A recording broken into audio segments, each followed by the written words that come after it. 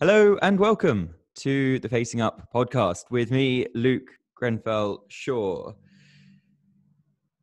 Have you ever felt trapped inside your job? Have you ever been stuck in a career that no longer quite fits for you? Have you ever been not quite sure how to move forward? If you ever thought this, then I think this is an episode you might really want to listen to because this week I am talking with Philip Taylor, um, who also happens to be my godfather, but spent a lot of time in um, working for the IBM um, as a, getting up to a senior executive, a, a job that seemed to have a, a huge number of, of, perks, you know, a great salary, company car, I'm sure unlimited coffee in, in the office. Um, however, this was a job that um, Philip no longer enjoyed, and um, eventually he left for an entirely different profession. And so this week, uh, I'm really excited to be talking to Philip about his transition from a job that society would say has it all to something that he now does which from everything he's told me gives him a lot greater sense of satisfaction it's not been a change without its risks and challenges, and that's what I'm really excited to be talking to Philip today about. Philip, welcome to the Facing Up podcast. Thank you, Luke. Thank you for inviting me. So, um, to begin with, why did you want to leave your job at IBM?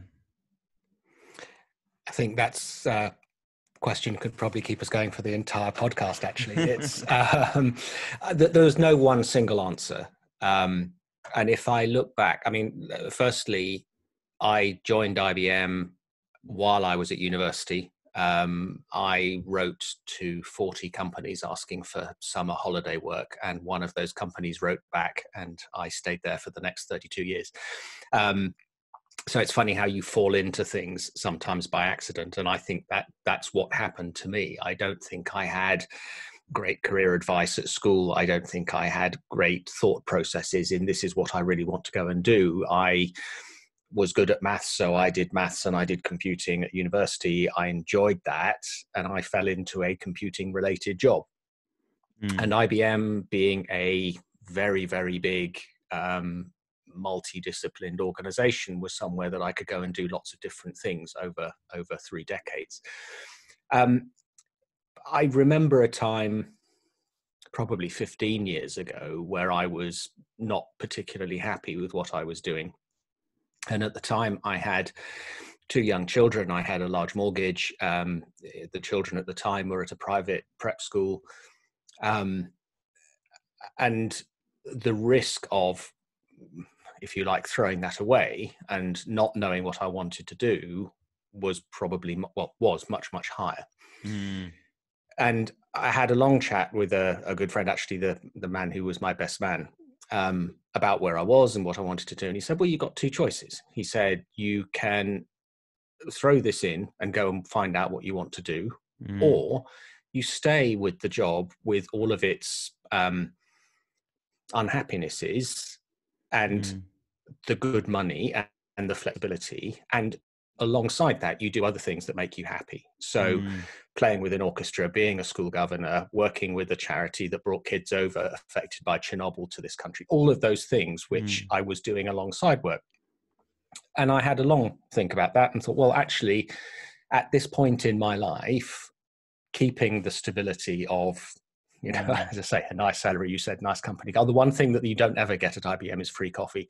Oh no! Um, oh, I'm never going. They're lost to me. uh, absolutely. Um, so at that point, that was the right decision. But mm. then coming forward another another 15 years to mm. 2018, and probably a couple of years before that, mm. um, I felt that the company had moved much more from when I joined in the mid 80s, mm. when it was a family oriented, friendly, caring, supportive company, um, to now, where I think, like probably the majority of corporations, the only thing that matters is the bottom line. Right. And one of the side effects of that is that obviously, if you're working to the bottom line, you focus intently on cost And where Mm. I believe the company has got to in, in a, a large part is that people are pure cost. right. And So workers are a drain on the budget. they're as as dispensable as not buying another computer was you know or not buying another desk or not repainting the office you know you, right. was was and- and i guess i want to be a little bit careful because i don't want this to come across as me slagging off ibm i think ibm does a huge amount of good in the world and it's Mm. done me a lot of good Mm, in 32 years. Mm, but where I, I the tipping point for me was when uh, almost with the, the the stroke of a pen the company took 40% of the people out of the group I w- I sat in in the UK took them out with involuntary redundancy at UK statutory minimum payment right. so you know 5 years ago involuntary redundancy was a dirty word and it was all voluntary and it was incredibly generous Yeah. back down to now so if and, and of course that made me do the sums Yeah. and if i had left at that point un, Mm. under that involuntary scheme if i'd been forced out i would have left with about two months salary. Um After working there for 30 years or so. 30 yeah 32 years. And and How does that make It- you feel as a as a human being? it made me feel um i mean worthless might be a little bit too strong but it was almost there. It was actually they don't care about me as a person. They care about me as a philip costs us this much on the bottom line Mm, and actually we could we could get rid of him because you know what i've found out and i've been through a lot of these programs at ibm is that you you get rid of people but the work doesn't go away and it just gets shared out. And of course there are efficiencies and you start looking at artificial intelligence and all that sort of stuff but mm, the work never never really goes away.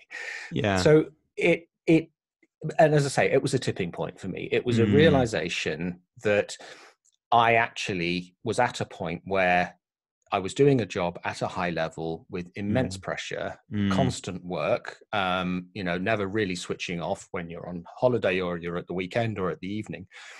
Um and i had to decide do i put up with that and with all the benefits the fabulous salary the you know the company car the private medical health insurance all of this stuff that you get as a as the cotton wool that wraps around you? Yeah.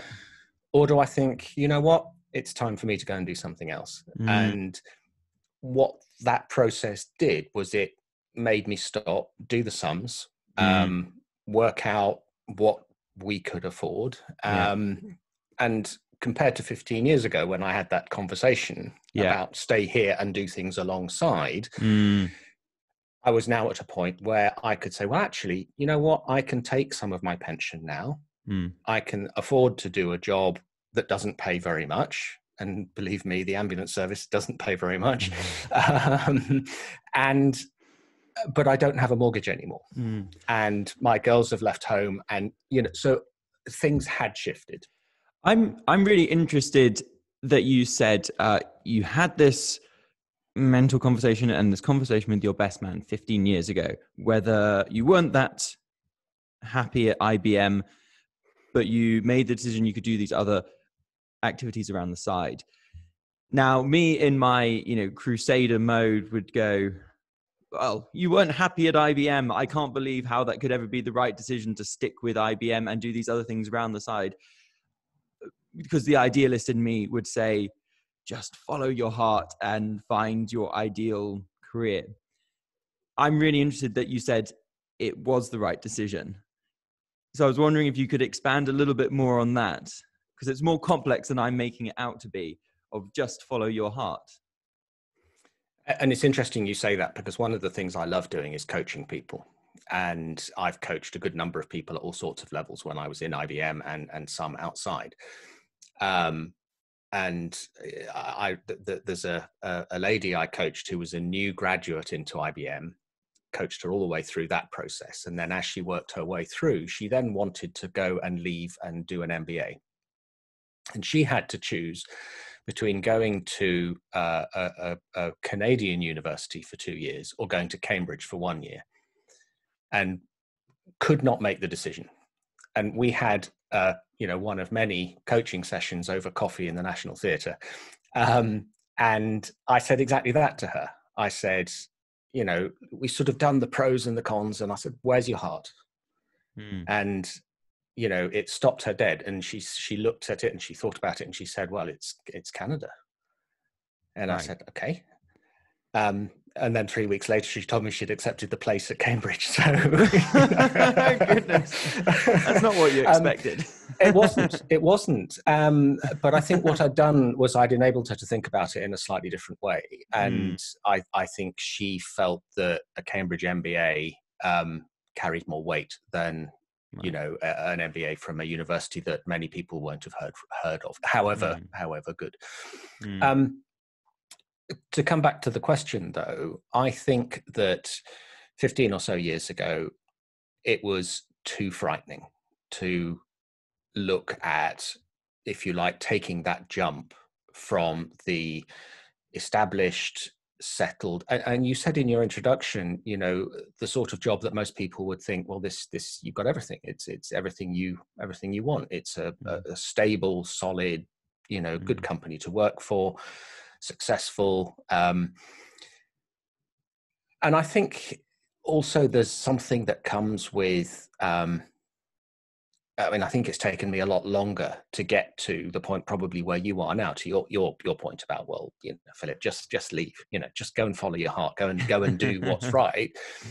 Oh, and and I was looking at you know relatively new house, big mortgage, mm. two children, um, uh, and and there are there are elements to the equation which I think would probably have been too frightening to to to leave at that point it's, I'm really interested in using the word frightening here because um, that that implies, I suppose, that you're scared about doing something rather than it necessarily being the right or the wrong decision. It just seems too much to go there. Do you think if you I'm pushing you a bit here. You know, do you think mm. if you mm. had taken that jump, that overcome that fear, how do you think that would have actually worked out? Uh, I think, and, and, hindsight is wonderful, isn't it? Um, right. um, I think I'd be in a very different place now. And the place I think I would be. So I need to talk about a friend of mine called Pete. Um, so Pete, uh, probably a bit longer ago than this, gave up a management consultancy job at one of the big 4 mm-hmm. um, in London. And I think he must have been in his uh, late 20s, early 30s. So he'd probably been there for eight, ten years, something like that. Okay. Still quite early on and, in his career. Yes, yeah. yeah. but he gave up all you know everything that I had at IBM. He would have had at that firm, mm. and he went and joined the Southeast Coast Ambulance Service. Mm-hmm. Um, and I knew him because he played double bass in um, one of the orchestras I play in. As you do. Philip um, plays the bass clarinet and the clarinet, we should say. Very well, indeed. Thank you, Luke. Um, uh, so he joined, and he joined, you know, at the, the lowest level, which is what I've now done. Mm. Um, gradually worked his way through, became a paramedic practitioner, which is the level above paramedic. It's the mm. you know the master's degree on top of the normal paramedic. Mm-hmm. So it became very very skilled, very senior. Um, and then in more recent years, moved from the ambulance service to East Surrey Hospital in Redhill, um, and he was one of the team that ran the minors unit in A and E. Mm-hmm. And I, I think you know, preempting maybe one of the questions about why did I move to what I'm doing, mm. I think somewhere in the back of my mind has always been, well, Pete did that, did it a long right. time ago, and look where he's got to.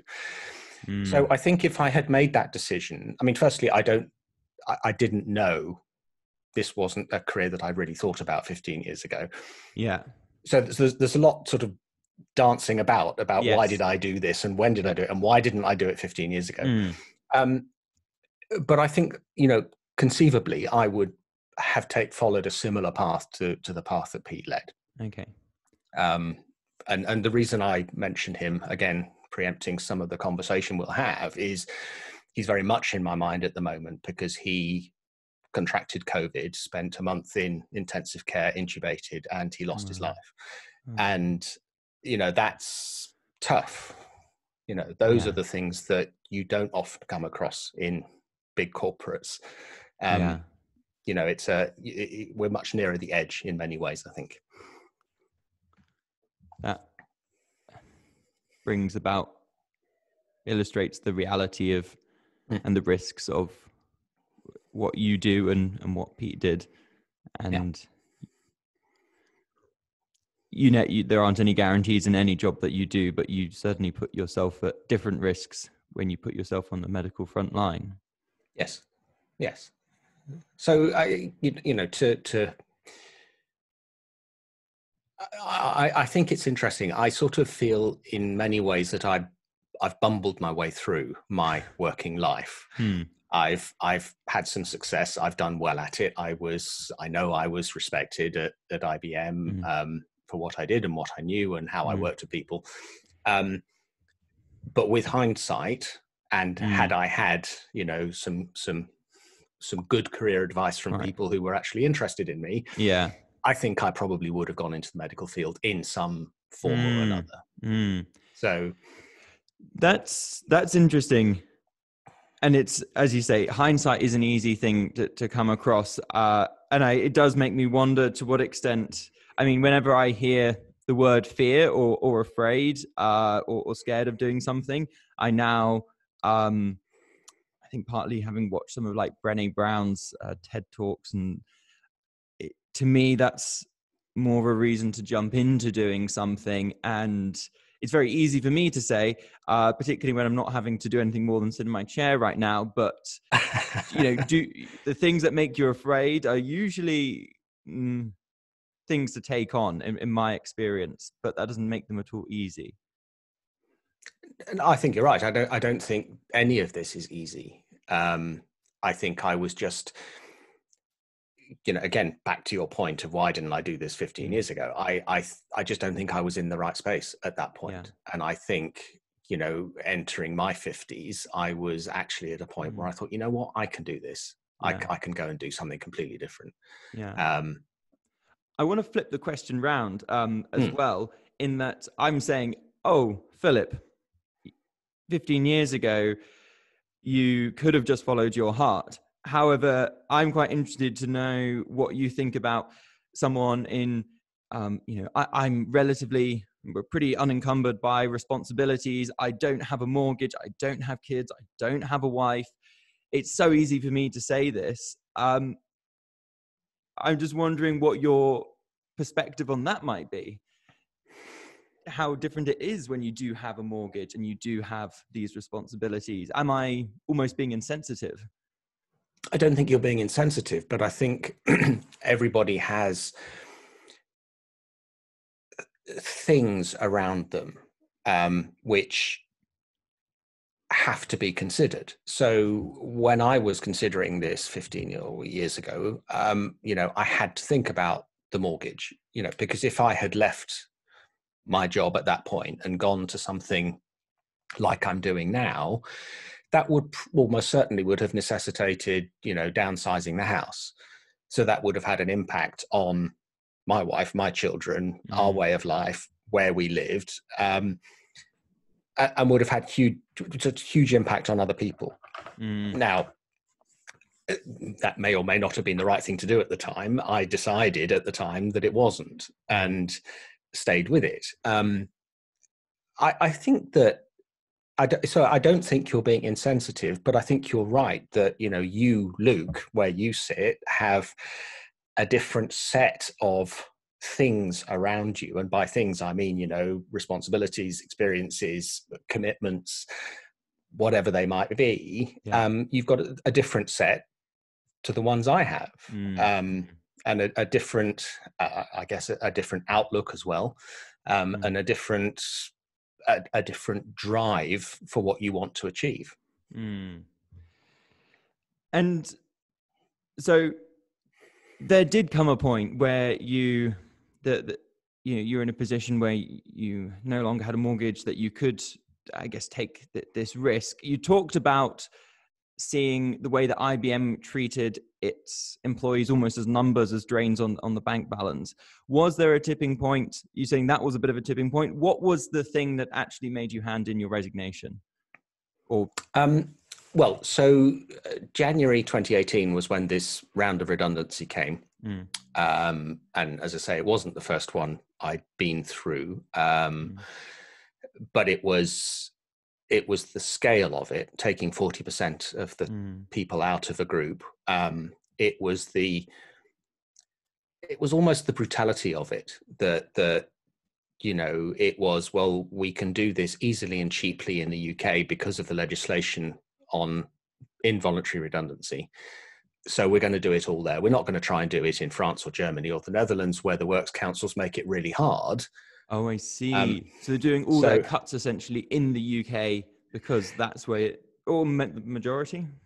Uh, certainly not all, but um, you know, it's far easier given the legislation in the UK than it is in, in other countries, and that's why they, you know, that was my experience mm, mm. when I asked senior people, you know, why, why are you doing this? And they said, because we can. Right. You know, it was it was just well, it's just business. Don't worry, it's not mm. personal. Mm. You know, but actually, it, it has a big impact. Mm. So that was January. Um, as I say, went through the whole process, saw lots of people leave. You know, I wasn't at risk. Um, obviously, I was considered as one of the 140, yeah, because I sat within that group. Yeah. Um, but it, it it left a sour taste in the mouth, and mm. it was so that then made me, as I said earlier, do the sums. Can mm. I afford to make a change? Mm. And worked out what I would need in order mm. to be able to leave. Mm. Um, and then there were just little things, and and this mm. will sound really daft, but I was sitting in my home office, um, looking out of the window one day, and uh, an ambulance drove past, and on the ambulance it said driver training, and, and and it was just one of those funny little signs that oh oh I could be doing that. Yeah. Um, and my wife Liz had, um, had had said, you know, at some point in the last few years, you know, that she'd seen some something happening somewhere out in in public where there was an ambulance crew, or whatever, and she thought, oh, Philip could do that, you know, and right. So there were just little little nudges, and then I, I guess the big nudge was. I really have to decide now whether I stay with IBM until I'm 60 or 63 or whatever, mm and put up with the pressure yeah or i make the jump whatever the jump is mm. and you know it I, I, can't pretend that all i've ever wanted to do is be a paramedic that's not mm. true mm. Uh, but having found this and then you know i started looking for vacancies and found this one at the southeast coast ambulance service mm. and applied for it and you know went through and and, and got the position so uh, it was you know finding the vacancy getting the these little nudges along with the big kick. Mm. the big mm. kick was do something different and the little nudges were this is what you're going to go and do. Right. Interesting. And it sounds like this is a slow process. This has been a, a considered gradual incremental change that's happened over years for you. Rather than um you know two or three events happening in quick succession and then you know like right i'm out gone. You know, quite a quite a sharp uh, departure. This seems to be quite a, a measured and considered uh, exit from IBM and movement into something else. Absolutely, I, I, you know, and I think it's not that you know I've just had a you know I've just been reamed out by a senior exec who's just mm. torn me into shreds, and I've had enough, and I'm you know I'm I'm stomping out. See what the, you know. I, right. it, was nothing like that. It, yeah. it, was much more gentle and considered. Mm. Um, and I think you know there were other external influences, people that I talked to who, you know, were beginning to say, well, you know, are you happy with what you're doing? Is that mm. um, and again, think with hindsight, one of the really interesting things is I bumped into somebody, hadn't seen him for a couple of years. He didn't know that I wasn't still at IBM and told him just very briefly what I was doing. And he looked at me and he said, That's why you look younger. and I thought, wow, you know, somebody hasn't seen me through this whole process, but has can notice that there's a real physical difference in me. Yeah. and then that makes me think, well, wow, you know, I'm so pleased that I've made this change in my life. If that's the impact that it's having, because that's got to be good for me. Yes. Versus yeah. the you know, the ongoing, as I say, high pressure of of those sorts of jobs. Yeah. And so when you you handed in your resignation, you are no longer part of IBM. There still seems it seems like you'd taken a lot of steps to reduce the amount of uncertainty at that point. I think uh, in my mind's eye, it was you know, you know, quit IBM and then suddenly you're like scrabbling around for different things to do. But it sounds like you very much had your next thing planned, but there still must have been um, ups and downs with that transition. Yeah, I mean, I'm quite a small c conservative sort of person. Um, and, you know, I only handed in my resignation when I had my offer letter from the ambulance service in my hand. Right. Um, and because of the typical inefficiencies of NHS admin, um, mm-hmm. you know that that was quite hard to get. Um, right. And in fact, I had to ask IBM to be flexible with me because I needed to give less than my full notice in order to get on the first day of the course to to, oh, to learn my new job. Yeah. And they were great about that. Mm. Um, but just as, as, a, as a little side anecdote, mm. I, I, worked for a very senior exec in the UK uh, in IBM. And when I went and gave him my resignation and told him what I was doing, he sat back in his chair and he said, I cannot tell you how jealous I am. And wow.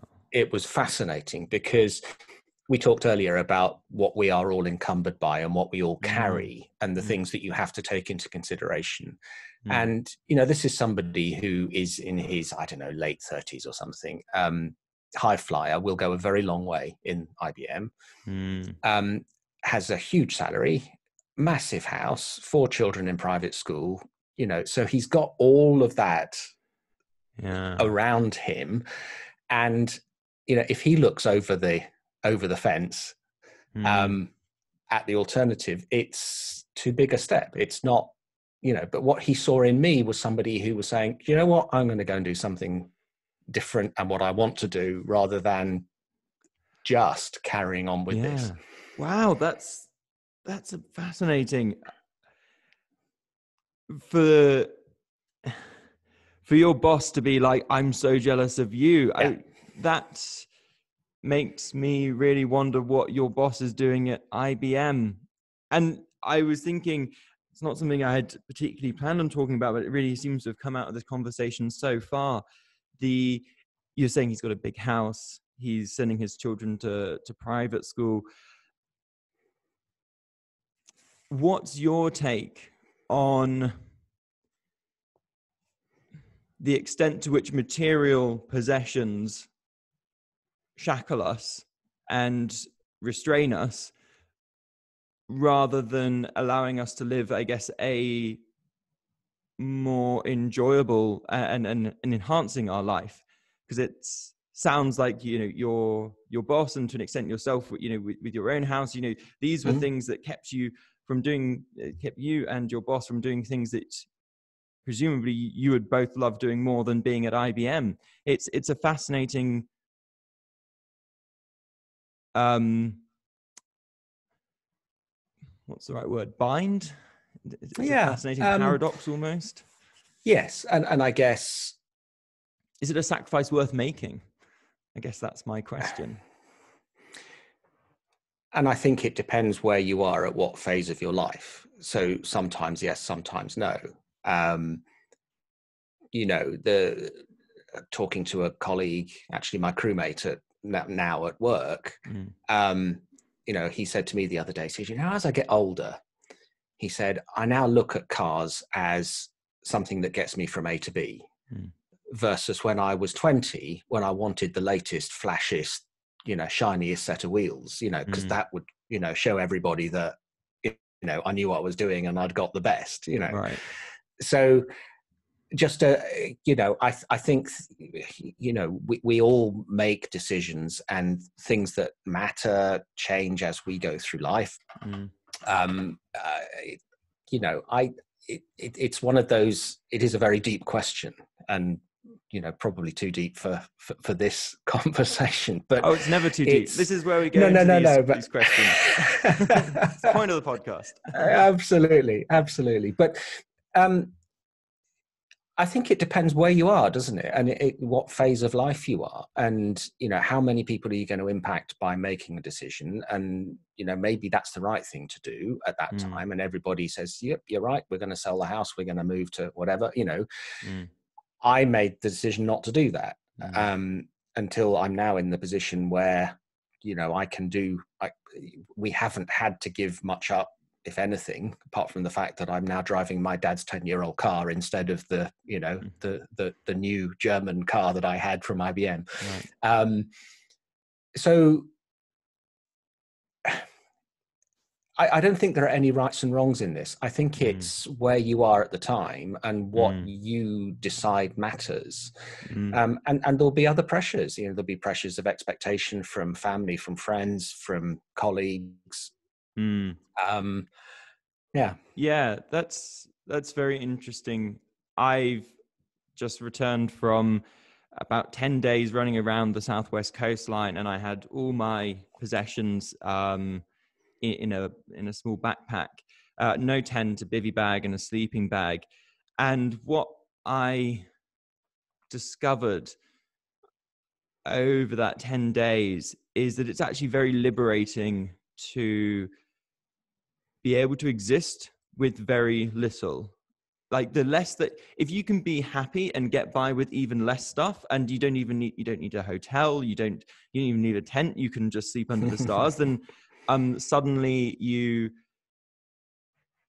you it, it's a very freeing sensation. And maybe i'm coming across as a hippie but if you don't need all these material possessions to make you fulfilled and happy then it's it kind of takes the pressure off needing to pursue them i suppose and this speaks to perhaps to the the stage of life that I'm at that I um, you know don't have a, a, family that wouldn't appreciate living out in, in a bivy bag in the in the, in the open yeah. air 365 but, days but, a year but but where you make me go thinking about what you've just said is the difference between working at IBM where I was in customer facing sales jobs sales management whatever hmm. where it's all about money and the, mm. the only real motivation is can i get more commission can i get a bigger pay rise right um you know what's the payback for me how am mm. i going to beat the competition right. um and and it's very aggressive actually mm. the a, a, lot of the language a lot of the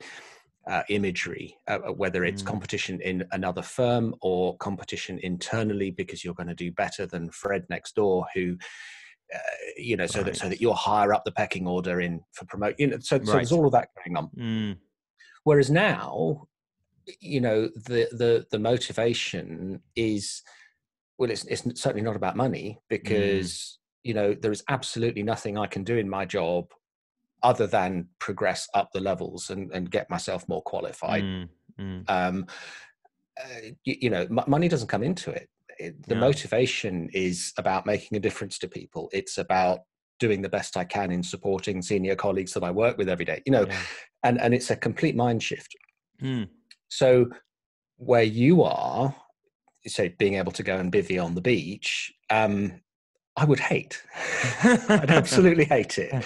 You know, we, we we did a lot of camping um, when you know in in our um, when when the girls were younger, and it was never my favorite um, uh, but yeah. but they loved it, you know, and certainly you know sitting out, eating out, all that sort of stuff. I did enjoy. It wasn't yeah. that I hated every minute of it, um, but uh, you know it's. Uh, and, you know we we uh, a, a, recent holiday with with Liz you know she wanted to go um, with a backpack so she did yeah I took a big suitcase you know because I wanted to you know and and both were fine right um but mm you know, I so I don't see you as a you know as a mad hippie at all. I think that you're fortunate in that you have found some time when you're able to go and do what makes your heart sing. Mm. And you know, we're coming back to what you said right at the beginning about what, where, where's your heart? Where where yeah. where is your heart in this? And I think if we can make our heart sing, mm. Um, mm. then we're probably on the right path. Yeah. And if our heart is in our boots, you know, because it's it's squashed and it's not feeling uh, supported and held, then we might probably or might possibly be in the wrong place. Mm.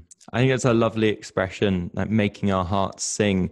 And I think that's where if one is motivated by money, I don't think that's ever made someone's heart sing. And to me, perhaps the balance in, in material possessions is um, I think you need enough to be um, have your basic needs met and for um, your enjoyment of life, not to be barred because you you don't have you know um, a shelter over your head or you know if you're crammed into a small room.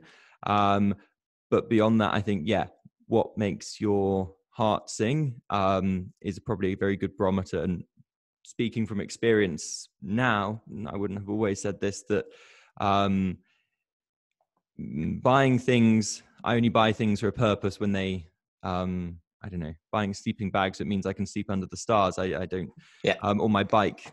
So it means I can go out riding, but not for, not for the sake of buying it. It's, um, I, my little rule of thumb is if I'm excited to buy something, it usually means that it's a bad decision because you know when you're like excited by the whole oh i really want this new toy like it was mm, when i was what 14 i bought an xbox 360 and i was more it was the process of buying it that I was very excited about and I wanted to sort of just rush the whole thing through because I didn't want my doubts to get in the way. So my mm. barometer now is like if it's something I'm not really that excited to buy, um, but I just think I'll, I'll use it and it still seems like a good idea in a couple of weeks or a month, um, then it's probably not such a, a passing fad and it's something I'm going to use and it's the use of it or the way it allows me to live that makes me happy rather than the process of buying it itself well and and it's the motivation isn't it it's it what is the motivation for buying it is it because it's the latest and come mm. back to your xbox 360 at the age 14 you know yeah. it's the latest coolest gaming platform and you know all your mates will you know want to come around and play it or you know even possibly be jealous because you've got it and they haven't i mean i mm. remember mm. when i was at school um i had some you know sons of very rich Americans, uh, you know, at school with me who always mm. had the latest skateboard, you know, or mm. or whatever it was, and mm. huge envy. Um, so, yeah. you, you know, is the motivation external or internal? And if it's internal, you know, you're going to buy the best sleeping bag you can get because it's functionally going to give you what you want, which is to mm. sleep out in the stars and not freeze. You know, yes. it, it, it's yeah that happened oh. too. well, yes, but, but you know, it, th- there's nothing external. There's nobody who's going to be. Yeah. Yeah, I mean, there might be one oh, or two. Look at the extra stripes on that sleeping bag. Absolutely, that carbon fiber yeah. zip. Love it. oh, he's got four and a half seasons on that. You know. Yes. Um, uh, yes. So, but I think it's about motivation, and it's mm. you know, so eh, you know, if I look around my house now, how much of this stuff that we collect over a lifetime mm. you know do we need mm. and there's an awful lot i'm sure that we could we could discard quite mm. happily um, but then you think well why am i then why am i discarding it you know what what purpose am i fulfilling um, mm. so I, I think motivation and you know wh- why you do stuff why why you have stuff but i think it's interesting what you say about the the less excited you get about buying something, the the more appropriate it is. I think that's a really interesting barometer. Mm. It's it's worked for me surprisingly well. Um, yeah. Um, moving from the the unexciting to um, the exciting, and perhaps this is a, a, a totally just an important barometer where the reverse is true. If if if um, it's important to be unexcited to buy something. I think it's incredibly important to be excited by what you're doing in life. And mm. you move to become an emergency care support worker, which has the catchy acronym you were telling me earlier of ECSW. Um, yeah. Tell us about starting as an emergency care support worker. Well, it's interesting. I mean, you know, it's a job title that's meaningless and nobody knows what it means. And I have it written, well, I have it written in my epaulets on my uniform. And, mm. you, you, know, I had one person Everyone's stopped like, me what? and, yeah, yeah, what does that one? One actually stopped to, so they could read it, you know, because it's, it's, anyway. So ECSW is the sort of entry level um, position for somebody working in the frontline emergency ambulance service so I joined the Southeast Coast Ambulance Service. We provide the ambulance service for Surrey, Sussex, and Kent. Um, I was given a four week four weeks of clinical training, followed by four weeks of driving training. Um, mm. And then I was out on the road. So, you know, when I started, I didn't really know that much about the job. I didn't know what it entailed. I I assumed it would be about driving, but I didn't know how much medical mm. Uh, side of things I would do. Mm. But what I do is I I always work with somebody more senior than me, yep. um, and we share the work. And that's the fascinating thing is that I'll be I mean, my crewmate is a qualified paramedic. He's been in the service for ten years. Um, but when we go and see a patient, you know, and let me, you know, in an average shift, 12 hour shift, we'll see six patients. Mm-hmm. So for three of those, I will be the person who, in the language, I attend that patient. Mm. So I'll go in, I'll have the conversation, I'll try and work out what's going on. Um, my crewmate will help with taking observations and, and, you know, if necessary, you know, taking an ECG or, or whatever. But it's my job to lead that discussion, work out what we're going to do, and obviously it's it's there's a lot of teamwork, and we'll perhaps come back to that because um, mm. for me mm. that's really important. Um, mm. Um, but you know, I'm given that responsibility now. Yeah. When I get stuck, which I do frequently, yeah. because I you know I've had little little training and and not much medical experience. I've been mm. doing this job now for 16 months. Mm. Um, you know he will help and you know but he'll also push me really hard mm-hmm. so there have been in the last few weeks there have been a couple of occasions where i said well what do you think he said your patient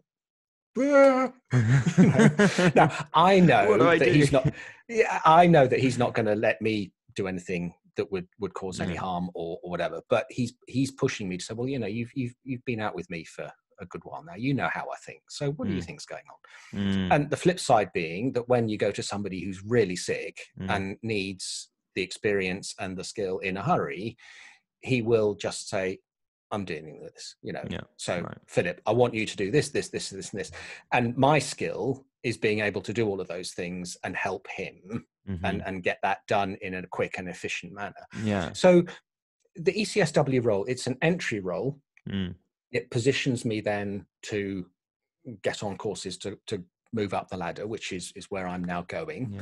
Yeah. Um, but it's also somebody that does provide that support, um, you, you, know, for, for for more senior people. It's um, it sounds like a role I would almost be surprised you find rewarding. And this speaks more about me. Like, there's a lot of driving involved. To me, that would be really um, oh, I, I, don't like spending lots of time behind the wheel, uh, particularly not late at night. So, what is it that for you makes this rewarding? And particularly compared Think, to what you were doing before, because that was part of a team as well with IBM. Presumably, there was was only with other people. So, what was it that made this well, so different? I'm, I'm glad that you've come back to that, Luke, because my experience in the corporate world. Um, hang on a second, I just need to cough. My experience in the in the corporate world is that there's an awful lot of talk about teamwork, mm-hmm. and certainly in the sales side of things, um, actually quite rare. Quite it was quite rarely demonstrated. Mm-hmm. Um, I think it's very difficult when when you have a bunch of people who are all on commission and all mm. fighting for an amount of a commission pot. Mm you know they're they're they're enemies almost yes they all work in the same office you talk about oh well, we belong to this team yeah but my uh, maybe my narrow perspective was that I, I never really saw real teamwork i know mm. it existed had to in in other parts of the company perhaps mm. whereas now um, the job I do, as I say, there's always two of us in an ambulance. It's always me and a senior. Um, you can only do the job if you work as a team. Mm-hmm. And uh, I mean, uh, one of my favorite examples of, of teamwork um, in the current job was I had a went to see a patient, a chap in his mid seventies who uh, was reasonably wobbly on his feet. So he had a stair lift, you know, one of these that has a rail up the stairs and Yep. a seat that goes down the track. Well, to cut a long story short, he'd fallen from the top of the stairs, head first down the stairs. He'd landed on the first landing of the stairs and wedged his head under the rail of the stair lift. Ooh. Um, now, that's not something that you and a crewmate can deal with. You know, he was Mm. absolutely wedge stuck. So I made a radio call and I asked for help. Four fire crews turned up. So I had four fire engines outside this house. Okay. Um, and you know, they unscrewed the unscrewed the stair lift and physically lifted the whole thing up Mm. so that we could then get this chap out and deal with him. Now, chap himself was absolutely fine, remarkably, after all of that, and we left him at home, you know, with a cup of tea. but the teamwork Mm. of two different services coming together with a Mm. sole aim, and the sole aim was to make a difference to that individual. Mm. Um, and you know, i- i- i- to, to if he'd been there for a long time, that would have been very detrimental to him to Mm. his health. But by working as a team, you know, lots of lots of discussion, toing and froing. What can we do? You know, at one point they Mm. wanted to saw the thing in half, but I said, not sure. I want a, a big blade next to his head. You know, okay, well, we'll unscrew it then. You know, Mm. so That also but- worked. yeah. So it's and and day to day, you know, working with a crewmate and standing at the top of stairs, scratching your head, thinking, how on earth are we going to get this lady out? You know, down this little tiny staircase that we're going to have to carry her down. You know, but Right. it's it's to and fro and Mm. despite the fact that i'm the most junior and you know with the least experience my views and opinions are sought and listened to Mm. as part of the ongoing you know if it's a medical thing where it's well i know what this me- i know medically what i've got to do then i'm not even going to you know it's not up to me i don't Mm. have the knowledge but when it's something like how do we get somebody out what's the best route in are we going to use the carry chair or the truck? you know all these things that we Mm. work through Problem very solving. much done as a team yes it is Yeah, in a very physical, spatial way. but it, it, it's you know one of the things that surprised me actually was because i thought i'd come in as the most junior and just be told what to do and then Right. to find somebody with 10 years experience say well what do, what do you think what we're going to do now Whoa. You know You're asking me. yeah yeah yeah I'm quite interested that you're saying you you went in as the most junior, and this is coming from a background where you were pretty senior at IBM. How difficult was it to adjust to this uh, difference in status, if you would use that term? Was that perceived by others? Was that perceived by you? It must have been quite a big change, though. So it's a massive change um you know to go back to the beginning that that was that was really interesting. I think Mm. there are quite a lot of things that were different. Um i think um I, I mean just the types of people that i now work with is is incredibly broad. Um you know i've gone from working in an environment where probably everybody you know, with one or two exceptions, everybody was a graduate Mm. um, at IBM. Mm. Um, uh, you know, all uh, you know, with aspirations that in many ways were based around money and and possessions and the big house and the car, all those things we've talked about. Yeah. Whereas now, you know, the so this made me chuckle when I went for my interviews for this job. They Mm. said, uh, "Bring bring your um, your certificates along." Yeah. So I took my certificates, you know, my O levels, my A levels, my degree, my, you know, one or two things I've got out, you know, after after degree. Yeah. Um, and and they dutifully photocopied them all and sent them off to HR. And then when I looked at my HR record after I joined and got my job, qualifications, math GCSE, because because that was the requirement of the job right. That is the only thing that you had to have to get this job was was Mm. maths um so necessarily it's a you know they're a very different mix of people a Mm. paramedic is a, is a degree qualification and that's Mm. what i aspire to and hopefully Mm. we'll get there in the next Mm. within the next five years Mm.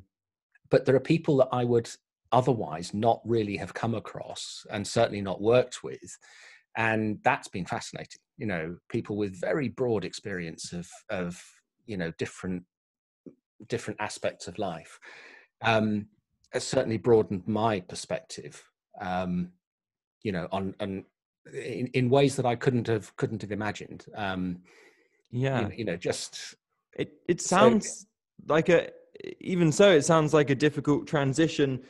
Uh, well, actually, what what is striking me right now is almost how um, easily you you made that transition. Uh, to uh, cite a, a small example from my own life, it's not a direct sort of parallel, but I remember 17 years old. You know, this fit young runner cyclist went to my first swimming session in 10 years, and I was like, you know.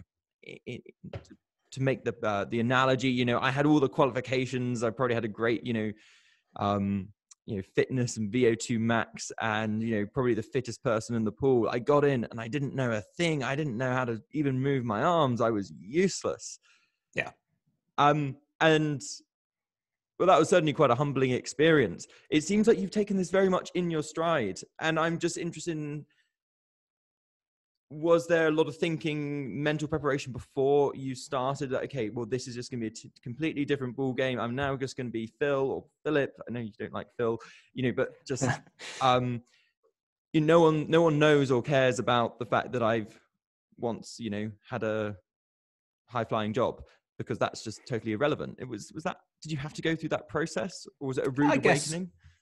I don't know about rude awakening. I mean, certainly had to go through some of the process. And and before I even applied, I I went and had a beer with a friend of my daughter's who's a paramedic with London Ambulance Service Mhm. to pick his brain about what the job was about. And Mm. one of the questions I asked him was, I said, you know, I know that they cannot legally discriminate on age, but do they really want somebody, you know, my age? I think I was 52 when I applied. Um, surely they want, you know, kids out of school that they're going to get 30, 40 years service out of. And he said, absolutely not. He said, yes, of course they want young people, but they also want people with life experience. Mm. And, you know, the way that I've seen that manifest itself was there was a chap on my training course who was painfully shy you know was intellectually was there he he, he got the the the clinical stuff but what Yeah. he couldn't deal with was working with a patient he didn't know where to begin he couldn't have Mm. the conversation um right Whereas the the starting with the hello and how are you Well- well, doing just yeah but but just almost tongue tied by Right. that and you know the number of times that i've sat in the back of an ambulance on the way to hospital holding the hand of a 93 year old lady who's scared out of her wits because she's Mm. going to hospital Mm. um, you know, this chap I'm thinking of would probably thought, oh, I, I don't know if I'm allowed to touch her, you know. yeah Whereas this was just an old lady who needed a bit of reassurance. So Mm. there's a bit of life experience that, that came into it. I Mm. think, I, I I think a lot of people couldn't understand why I'd given up a high paid job Mm. um, you know, sitting behind a desk for something where you're out in the community, often getting wet, um, Mm. sometimes getting shouted at, you know, going into uh, very, very different environments. You know, we we go into some pretty horrible places from time to time, Yeah. um, and you know, I've had to learn how to deal with that. Mm. So, I think in terms of preparation, I didn't really know what I was getting into. Um, I took it, you know, I studied hard during the clinical course um, Mm. because I wanted to do as well as I could and I wanted to learn as much as I could. Yeah. Um, and I keep that going. I, I try to, you know, constant conversations about, well, why did you do that? Why didn't we do this? Did you think Mm. of that? Um, and, you know, my crewmate now, now that I've got on, I'm on the course now starting in September to get to the next level um, within the service. Mm. So he now he starts drilling me. We, you know, we'll finish a patient. you say, right, what did you think of that? And I'll say, well, I think we did. And he said, yeah, but why didn't you do that? Well, because yeah, a- and then you have so Mhm. it's constant learning, constant reflection, constant um, Mm. encouragement. Also, Yeah. and that suggests to me you know that there's definitely a maturity and mindset there that you you don't necessarily have to be you know mid career to have that but it certainly say something if i was 20 and i joined i probably would have wanted to do the least amount of work possible to get by and get through so i think that's that's interesting itself the the approach that you you bring um so you're saying the teamwork is a mm. very mm. rewarding aspect of it what else gives you that life satisfaction from this very different career? I think um, probably two things. I think the first one is that I make a difference every day. Mm. I make a difference sometimes in a very big way when you save somebody's life. More often in a very small way where you know you go to the old lady who's fallen over and can't get up. Um, and more often than not, you get them mm. up, check them over, leave mm. them in an mm. armchair. But mm. sometimes mm. they've broken their hip or their leg or their arm or something, and you have to deal with it. But you make a difference. Um, if you weren't there, you, you know they, they they wouldn't they, they wouldn't be in a good place. So there's the satisfaction of making a real difference to individuals. Now compare that to IBM. Um, IBM does a, a, huge amount of good in the world, um, but it's very invisible. Hmm. You know, if if IBM, you know, has some wonderful software that can help with, you know, artificial intelligence that helps with understanding cancer, yeah. and you, know, you and I have talked about that in the past about some of some of the software that that they have that makes medical journal uh, papers available to every doctor by you know almost type in the symptoms and get back a list of well these are the journals you need to read type yes. answers yeah you know you can see how that can be really powerful mm. and really helpful but mm. actually quite invisible and for me somehow because m- most of what i was doing was working with banks making them more efficient you know so, so that was actually i don't think i want to do this anymore right. you know so whereas now it, it's you know if i can make a difference to three or four or five or six people in mm. a shift then that's real tangible you know i've done something here yeah. so that's the first piece the second piece is that i think teamwork is part of it but actually family it's a real family and it's wow. described by many people as a family mm. and that mm. was demonstrated so eloquently with my friend pete because he died from COVID um, in the hospital that he worked in. Mm. And on the day of his funeral, hundreds of colleagues from the ambulance service went to the ambulance station, lined the road in the pouring rain, and the funeral cortege with police escort, with fire service turned up, you know, because wow.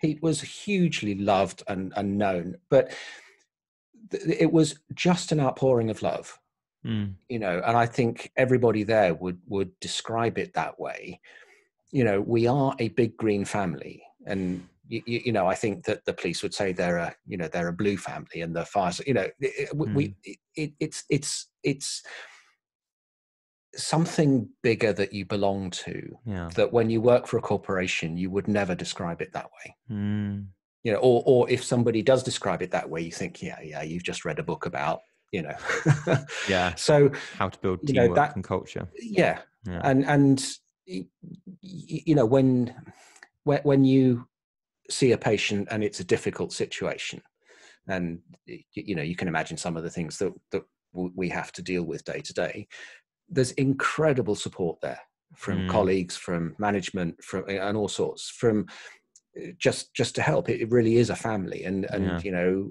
when you get stuck you turn to the family and mm you, you, know there is never i've never had anybody who's oh just pull your socks up get on with it you know so yeah let's have a coffee let's talk about it you know. Right. So it seems like there's a there's two things here. One that very um direct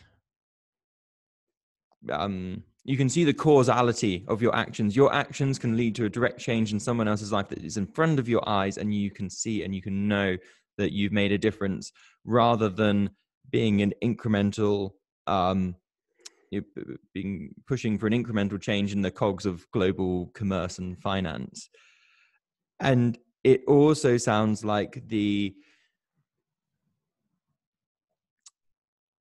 because the goals are very different it sounds like to a lot of the corporate world your everyone's attitude is is, is less competitive and you're it might be a, cliche to say you're working towards you know a more idealistic goal you know helping other people in in a very um it is in a hands-on way and i think that probably does make a difference and it changes the incentive structure which i wonder to the extent that builds this family environment because I guess you know family relations in, in our own families that they're not built around trying to make money. They're trying to you know mm. bring out the best in each person, and I suppose that sounds like the kind of culture that you're now part of. And I think it's the difference between being part of a service mm. versus being part of a corporation. Mm. Isn't that an interesting um, word to use? Service. Yeah, a service to help yeah. other people. And and you know if you but if you look at the organization I work for is the Southeast Coast Ambulance Service. Mm. You know, mm. our colleagues opposite are the fire service, mm. fire and rescue service, mm. and you know, it's something that I'd never experienced before. Yeah. Um, you know, when uh, you know, I, my my parents are both teachers. I was brought up around education. Um, you know, that's a different environment. Um, the corporate world is is itself. You know, and so that's one of the biggest surprises and and you know biggest changes for me was uh, almost a feel of belonging more mm. You, you, know people will often say oh, i'm proud to be an ibmer you know an ibmer was the phrase used for somebody working for the company you yeah. know and in some ways i was mm. but actually in a lot of ways i wasn't and whereas now you know am i proud to belong to the ambulance service yes i am mm. you've mentioned Pete and him passing away from hmm. COVID, and that really is a very powerful and clear indication of the unusual in some senses responsibilities and risks that you take on as as part of um, being in the, the medical profession. And I, other doctors and, and nurses, uh, everyone involved, you know, particularly at this time of COVID, um, are at increased risk. And I was wondering if you could give us a flavor of what it has been like for you, uh, being very much on the front line. You're visiting people's homes with suspected COVID symptoms. You've have an insight into what, for me, living in Bristol, I've not really experienced at all. I've kind of been very lucky to live in, you know, in my house. I go running on the, the downs and the park nearby. Of course, I haven't been going out to cafes and stuff. I feel I've been very isolated. I haven't visited a hospital, thank goodness. Um, so, um, what's this time been like for you? It's been um, it's been fascinating. It's been fascinating in many ways in in how society deals with something that turns it upside down. Um, mm-hmm. It's been a time of almost constant change. Um, so, you know, there, has been a lot of discussion that you know you see in the press about uh, personal protective equipment or PPE mm. being available. Um, so I think I've now been formally fit tested for five different masks. You know, so the, the surgical masks, the normal, you know, elastic ear yeah. ones, that's what we, we wear those into every patient now. Mm, mm. But, you know, it was only three months ago when, you know, oh, well, don't wear one of those unless you think they might have something because you, you know, well, we, we, don't want to waste them. Whereas, right. and, but, but then the mask, huge, and it changes every week, you know. But yeah. the the masks I've been fit. So if we go in where you think it's what they call an aerosol generating procedure. So if you're working with a patient who might breathe droplets out for whatever reason, mm. um, and you, you, know you have to have a mask where nothing gets through, and you only know that if you've gone through a process of being fit tested for it. Mm, The trouble is that you get fit tested for one, and then the service runs out of those and can't get any more, so they get a different type. So you have to go. So Right. it's this ongoing process of making sure that we have what we need um, to be safe and you know the the cleaning process that every single piece of equipment you use with every patient is now completely cleaned before you go on to the next one um, you know whereas a year ago you know if i took your temperature you know, Mm, we use these thermometers that go in the ear mm. that the end bit is plastic gets discarded. So a year ago, that's fine. Just put it back in his box. Use that with the next patient. Absolutely no worries with that. Whereas now, the entire thing is cleaned. Right. Um, so a change in process, and Mm. but I think more importantly, I think there's been a change in attitude um, among patients, and the number of patients I've been to in the last three or four months who really, really need to be in hospital. Um, nothing to do with COVID, Mm. but will not go and the the, the fear Oh. of going to hospital and actually uninformed because the way the hospitals are working and yes they you know they've had to go through immense change and and you know the number of times i've been into our local hospitals okay so where's a&e today you know okay. um, Wow. because well because they what they in the early days they made the biggest part of a&e covid only and Ah, if you were non-COVID and showing no symptoms, you went to a little side room. And then Mm. uh, a month ago, they switched it around. So yeah. they now have two COVID beds because they're not seeing anybody, Mm, um, and twelve beds for everybody else. Mm. But but going to people who we'd say, look, you really need to go to hospital. Well, I'm Mm. not, I'm not going. I'm I'm too frightened.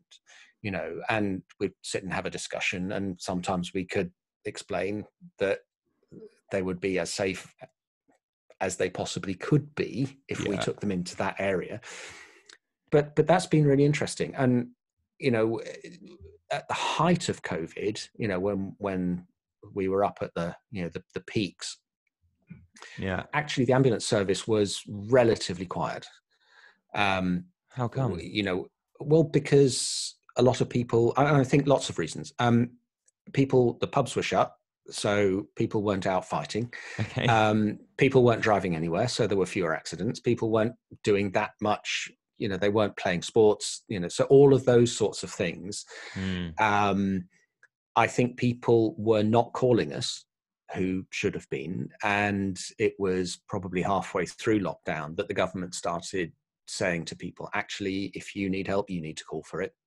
You know, Yeah. um, you know, we're we're all still here, and yeah. you know Don't hide I, I'm, don't hide don't think oh well i'll just wait um you know i'm reading more and more in the press now about people you know the, who who who are going to be more ill because they haven't sought help Mm, um during covid than than they should be mm, um so it, it, as I say, it, it's it's more been a process of managing and coping with change and Mm. constant change Mm. about well, this is what we do in this situation. This is the equipment we use. This is how we do it. Um, you know, which, I think has been really interesting. Having to stay on top of all of that, um, uh, you know, and then you know, just having to cope with the practicalities of it. You know, if you go to somebody who's had cardiac arrest and you're delivering CPR in a full body suit um, with a Okay, mask right. on and goggles and multiple pairs of gloves. CPR with a mask on. That sounds difficult. Yeah, well, so we're wearing a mask, um, yeah. you know, and, it, and you're working on the chest. Um, How do you do the mouth to mouth bit? you know, no, mouth to mouth is doesn't exist. We we never do mouth to mouth. Um, ah. Now, or, uh, sorry, this is now just a technical question, but I'm interested. I because CPR, you blown someone's. no, so? CPR is chest No. compressions. Oh, that's just chest um, compression, right? uh, with um, with, with uh, a defibrillator to to shock the heart if it needs it. Right. Uh, the the ventilation and the provision of you know the management of the airway is is Mm. done with we've got various devices that do that. Ah, um, okay. But but no mouth to mouth. I mean that's what I was taught when I did my first aid at school, however long ago that was. right. Um, but no, that that's that's not part of. We we never do that. oh, okay. You've got other things to do the mouth bit. Yeah, Okay, yeah, okay. yeah, absolutely, yeah. Um, Hmm. But but you know, just just coping with that, um, and you know, it's incredibly uncomfortable. And Mm, if mm. you've got you know that sort of situation, the last one I did, there were six of us in a tiny little flat, all all working hard, and we were utterly drained at the end of it. You know, Right. just physically, physically drained. Mm, Um, so, you, you know, as I say, it's it's been really interesting how the cycles have gone, and mm, you know, we're pretty much back to normal normal levels of work now. Yeah. Um, I'm seeing very very few people with respiratory problems. Mhm. Um, uh, very few with with COVID symptoms, mhm. um, and much more back to the back to the things that we were seeing before. You know. Yeah. Did you feel like you were worried uh, not only for your own health, but you know you're, you're living with Liz, your, your wife, one of your daughters is at home. Mm. Was that um, was that a difficult thing to have that responsibility and thinking, well, I'm putting myself at a high risk. This could also um, impact people that I love. Yeah, so it's something that we've talked about. Mm. Um, it's something where uh, I've changed the way I work, um, the actual pattern of work. Mm, So, you know, when I get home from work now, I come in through the back door, not the front. mm, okay. I strip off, everything goes into a bag, um, and I go straight in the shower. You know, which didn't used to happen. Uh, you know, it it would if I if I'd had, you know, if I if I'd worked with a patient which had been messy or dirty or whatever, then yes, I would. But you know, that that never happened before. Whereas now it's every single shift, everything comes off. Um, we've been very careful about hand washing and about not visiting elderly parents and things you know over this period because you know i have to be at higher risk than many other people because Mm. i've worked all the way through it you know, i'm i'm very interested that having had an antibody test a week ago to find that i i'm negative i've not had covid Mm, mm, um, so I'm obviously doing something right because I've very definitely had patients it. with it and been exposed to it, and I'm in hospital every day. So mm, mm. you you know the it, it, it's been there, but the the processes and the practices that we follow um, are effective, and I think Yeah. you know One other question, moving um, away from COVID now, but onto the nature of your job that I'm sort of intrigued about is how do you cope with the night shift, particularly when you're driving around? You know, for me, when I get to 11 o'clock at night, that is definitely, you know, my head should hit the pillow, and certainly nothing useful gets done after like 10:30. Um, so, on a practical note, how do you actually get through the night shifts? Um, it's interesting because that was probably the thing I was most worried about when Mm, I moved, when I changed jobs. Um, I'd never worked shifts. Um, and the, the prospect of 12 hour shifts as well, you know, that that's a long time to be at work. Yeah. Um, and it's only when you actually get there and you see how it works and you realize that you actually you know quotes only see six patients in a shift. You know i think i think the busiest shift i've ever done i saw 10 patients. Um and the the uh, I, I think the other end of the scale i think i saw two you know. Mm, um so so the practicality of it is different from the idea and i guess also i'd come from a job where i was in front of a computer all day every day in an office um not even with free coffee. Um, and you know you you can't do that for 12 hours at a stretch whereas this is so varied you know some of it yes you're driving Yeah. um you, you know uh, so getting two patients but then you can spend an hour in a patient's house trying to work out what's going on what the best you know, sometimes we'll give treatment mm, in the house and then see well has that made a difference? Yeah, okay so now let's think about what we're going to do. Or you know to the previous example what help do i need to get this person out from under the stair rail you know? Yeah. um and then you may take them to hospital and then there's the process of handing over in hospital. So it, it's a job where you've got different things going on at different points. So Mm. you're not sitting in front of a screen. There's much more movement it's much more active. There's occasional lifting. There's mm, you know lots of equipment to to move about and Yeah. and you know understand and sort out and, and work on so that's one piece of it mm. but Does it make it less sedentary than your IBM Yes. work? Oh, absolutely. Interesting. absolutely. There I was thinking Yeah. sitting down in an ambulance, but no, you're moving around more than you would when you're at your desk. Yeah, I, I mean, obviously there is time sitting down when Mm. when you're driving, Mm. but then you know when you get to the patient and you know they're upstairs and you're up and down and up and down getting different bits of kit or or Mm. whatever. Um, and as I say, sometimes we have to carry people downstairs or. You know, Mm. I never did that at IBM. Funnily enough, um, so so yes there's a, is, is a wide variety. And night shifts was was the other thing that really worried me because i traveled a lot with ibm I, I went to the us a lot. Um, and i knew that when i flew to the us i would always try and stay up till nine-ish local time before i went to bed. And i knew that around eight o'clock i'd hit a wall you know Mm. sort of one two o'clock in the morning uk time Mm. um, and I thought, well, that's that's what night shifts are going to be like. And surprisingly to me, it's not. I I've managed to find a routine um, where I, you know, get a couple of hours sleep in the afternoon before my first night shift. That gets me through, um, and then you know I sleep for seven hours when I get home from seven o'clock or something to two in the afternoon, and it, I just manage it. I I'm, I don't really know how or why, but Right. I don't get to, as you say, you know, eleven o'clock and think, right, I need to sleep now.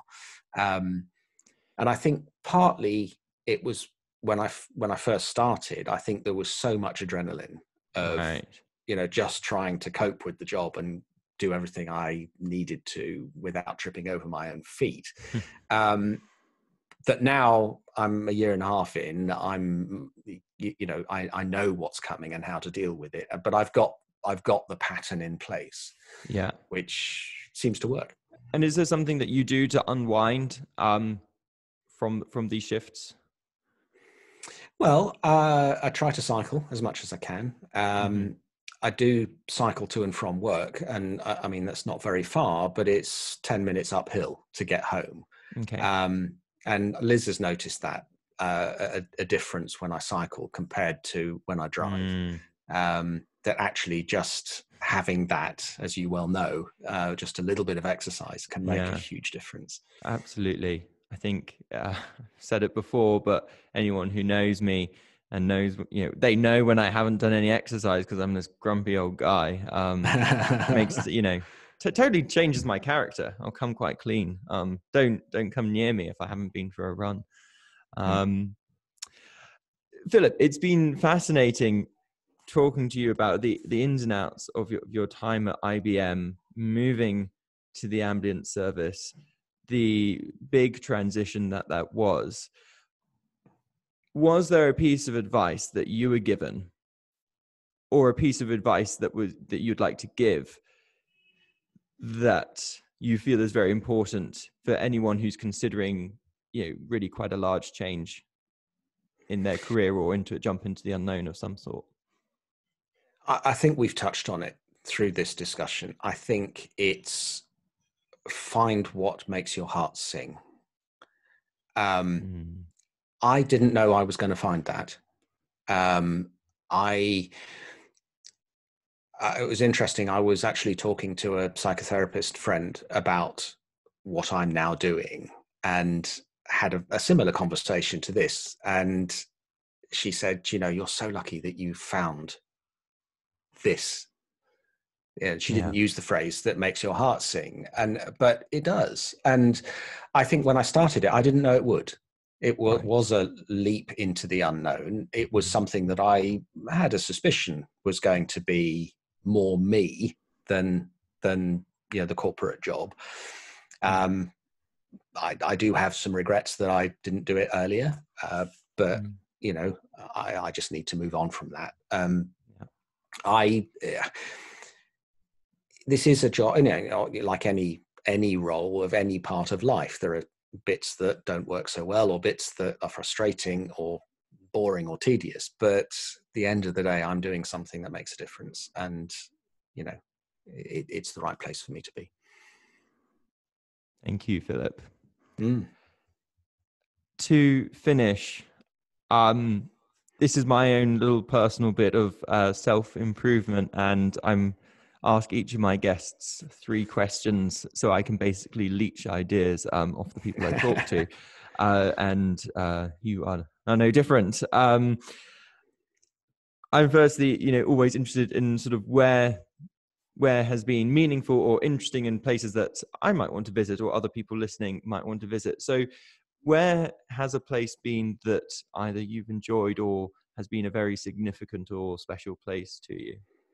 I think um, there, there, are two places that, that spring to mind when you ask that question. The first one is Box Hill, mm-hmm. um, which in is Surrey. a local in Surrey, local beauty spot. Um, it's my normal cycle route. I, I, mm-hmm. have a 20 mile route that I, I go on and I cycle up Box Hill, and it was part of the Olympic road race route.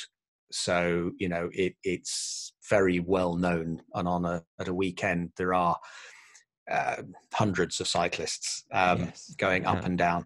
Um, so I love going up there. It's a lovely view um, and it's a nice ride. Um, the other place is the Albert Hall. Oh because I've played there many times um, with one of my orchestras, and it is the most fabulous building to play in. Um, and we did a, a, a concert for children, uh, mm-hmm. school kids, um, 4,000 of them from London schools, never been to a concert, even vaguely classical before, and had mm-hmm. no idea how to behave. And we walked out to a wall of screaming. and it didn't stop for two hours of the concert. It was just wow. the most astonishing experience of unbridled response to what we were doing that you don't get when you when you're playing to adults you know how um, fantastic um, so yeah so very very different wow. places you know one outdoors beautiful and another one just uh, uh, such a huge body experience that that you know I, I, I will always remember that feeling of walking out onto that stage that's incredible. Um, and on the topic of music, what has been a favorite, the favorite piece of yours, or one that is very special to you? So, uh, uh actually, from the Albert Hall, um, mm-hmm. from a mm-hmm. very early visit to the proms when mm-hmm. I was uh, probably something like 15, mm. um, Bruckner's Third Symphony. Um, hmm. Bruckner is not very well known generally. Um, he influenced Mahler uh-huh. Um, but what he does with harmonies, um, particularly in the brass, just goes right through you.